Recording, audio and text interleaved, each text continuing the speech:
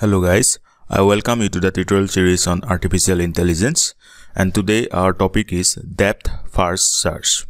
In the last lecture, I have covered breadth first search with examples. So if you have not already gone through it, I am giving the link in the description. Go and check it. Okay. So guys, don't forget to subscribe this channel and also share with your friends that will help them to understand these topics of artificial intelligence okay.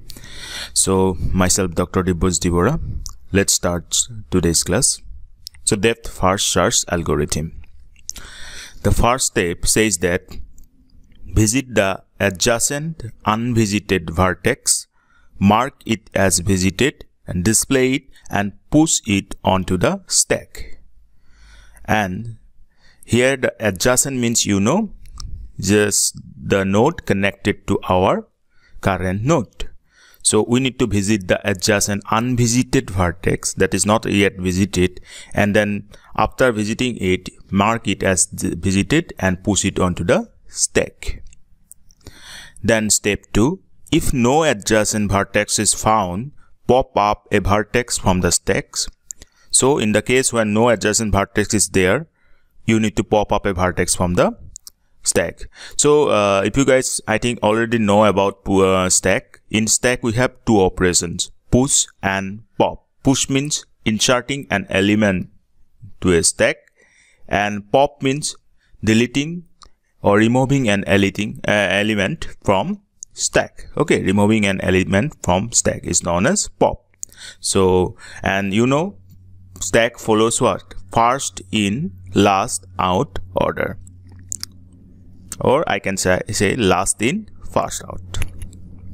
Now step 3 says that repeat step 1 and step 2 until the stack is empty. So at step 1 we have visited unvisited adjacent vertex in step 2, if no adjacent vertex is found, we pop up a vertex from the stack and it will pop up all the vertices from the stack which do not have adjacent vertices.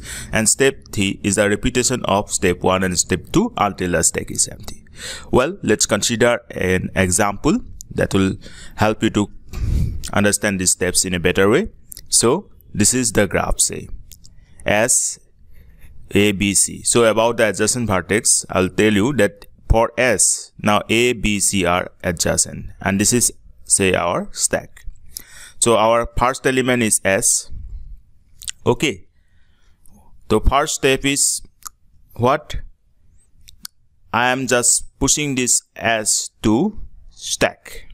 Now its adjacent are what? In this uh, in this path, suppose I am taking considering this path.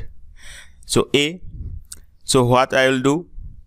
I will push A to the stack. Okay, and you know, in stack we have a pointer known as top and that is pointing to the topmost element. Now, for A, adjacent is D. Okay, S is already visited, but adjacent now unvisited adjacent node will be D. So we'll pushing D to the stack. Okay. Then for D, the adjacent nodes are either B or C. We can take any path. Either you can go this way or either you can go this way. So suppose I am considering this way. So I am pushing B to the stack here. So top is pointing to B now. Current top element is B. Okay. Now as B has no unjust, uh, unvisited adjacent node. So what we need to do?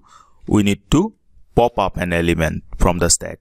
So we'll pop B now what we have D as our top element. Now you know D has another this unvisited adjacent node C. So we'll push C here. Okay. Now when we reach C that you will see that C doesn't has any doesn't have any unvisited adjacent node.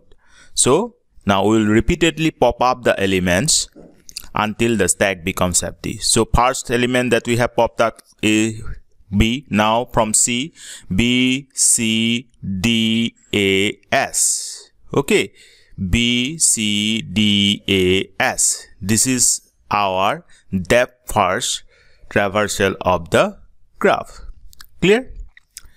So guys, now what happens if you go through this um, graph i'm considering say another example this tree why the term depth first search depth? In case of breadth i have explained that why breadth first search term is given to this algorithm.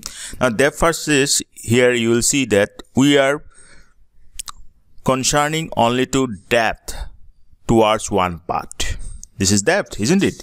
So we are moving depth to a path. So that's why the depth first search see this graph if we conduct the depth first search here how we will move? A to b a to b b to d d to h then e i j then what? These are. Okay so c f k z like that. So we are just concentrating on the depth of one path so that's why the term depth first. Search do one thing you just comment the depth first search for this tree. I'll check it. Okay. So guys today we have discussed one more important algorithm that you will find everywhere and it is a very popular algorithm of blind search technique in artificial intelligence that is depth first search. So the analyze means what we need to find out the advantages and we need to find out the disadvantages of the search. So advantage means what? Memory requirement is modest. Needs memory to store the path from the root to the leaf nodes as well as the unexpanded nodes. So for a state space with a branching factor of b and a maximum depth of m, then how much storage depth first search will require? The first search will require storage of b into m that is bm nodes so the storage requirement or memory requirement is modest. And the time complexity of depth first search is also bm in the worst case. Okay.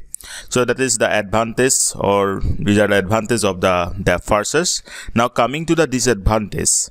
If depth first search goes down a infinite branch, it will not terminate if it does not find a goal state. Yeah, you know, suppose I'm considering this branch, this particular path. Now it is ended with h, but suppose one case it is not ended. It go goes repeating, means after h we have another node i, then after the i it is connected to one more adjacent node j. Similarly goes on to an infinite set what happened? Depth first search will stuck to that exploring those unvisited adjacent nodes, isn't it? So that will imply what? An infinite loop. So that was one disadvantage. That is I one disadvantage of depth first search. Now, second, if it does find a solution, there may be a better solution at a higher level in the tree. Therefore, depth first search is neither complete nor optimal. See, it's considering this part. But suppose the solution is found in some another path. As it's considering one path at a time and goes on exploring it, so it is not considering another path that there, there may be a better solution. So we cannot say that depth first search is complete or optimal. As optimal it is not optimal because it is not giving you the optimal path clear? So therefore search is neither complete nor optimal. So we have seen that advantage main advantage of depth first search is that memory requirement is modest and time complexity is bm in the worst case. And disadvantage is that it may stuck into some infinite branch and also it is neither complete nor optimal okay? So question from today's lecture. Depth first search is optimal. State true or false? I'm repeating again that you need to state true or false for this statement. Depth first search is optimal. So comment your answer. I'll respond to those comments. So guys meet you in the next class and that will be about best first search one important algorithm of artificial intelligence. So Till then, take care. Bye bye.